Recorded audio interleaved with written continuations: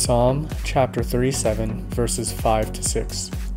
Commit your way to the Lord, trust in him, and he will act. He will bring forth your righteousness as the light, and your justice as the noonday.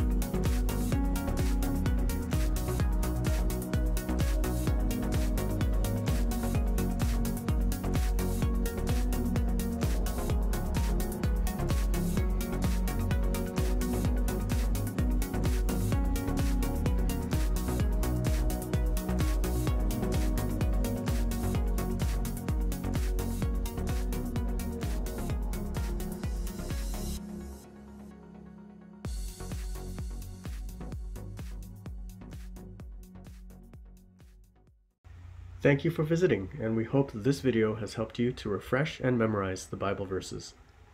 If you like this video, please click the thumbs up icon below and leave a comment to let us know how you decided to memorize the scripture with us.